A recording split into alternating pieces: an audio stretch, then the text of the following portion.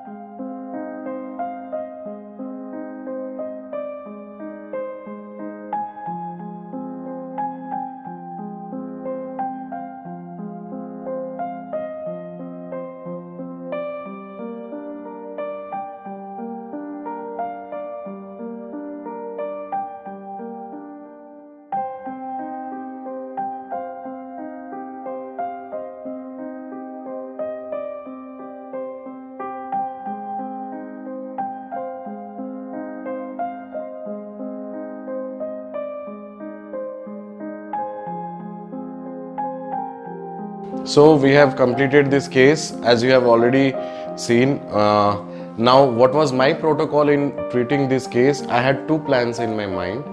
One to uh, as you have seen that the complete uh, cervical area has been fractured and the tooth was some subgingivally the fracture segment were placed. So what I planned was first plan that I was in my mind and I executed with that plan is remove the fracture fragments that is number one. Second i did the root canal that is um, uh, by um, rotary.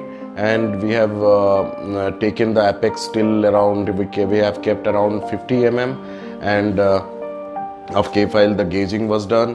Now then what was my challenge in that case was of the soft tissue bleeding so I removed the fracture segment, I did the root canal, then I coagulated all those bleeding and the tissues and the extra this uh, whatever the tissue were present by the help of laser. I did a laser disinfection of the canal as well and we have placed um, uh, we have gauged the GP of around um, 50 uh, at the apex and we have placed some MTA also for that uh, as you it was not an open apex but still we have placed some MTA over there at the apex.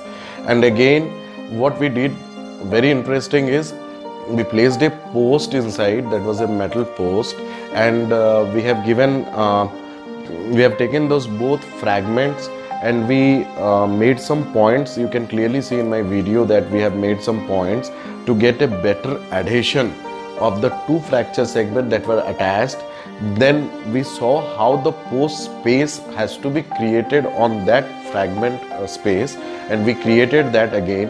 And then we placed it completely and uh, we tried uh, that uh, how nice it can be how aesthetically good it can be. And what i am going to do is uh, i have kept that. And after some time i will take the follow up like around 3 months 6 months. And uh, of course i'll take a follow up after 1 year and uh, now i am not planning for any crown. And uh, patient aesthetically is also very nice so we do not have to place any crown on that as such.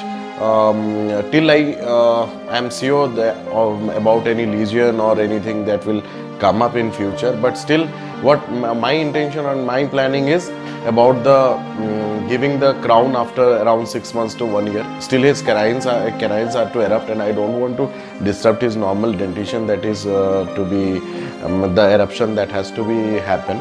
So um, my planning is uh, the first plan that I have already executed. You can see this case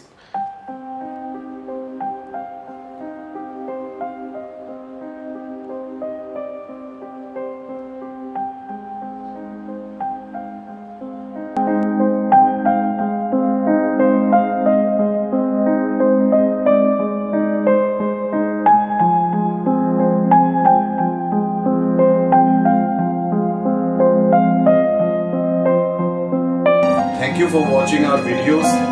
If you want more videos, do like, share and subscribe.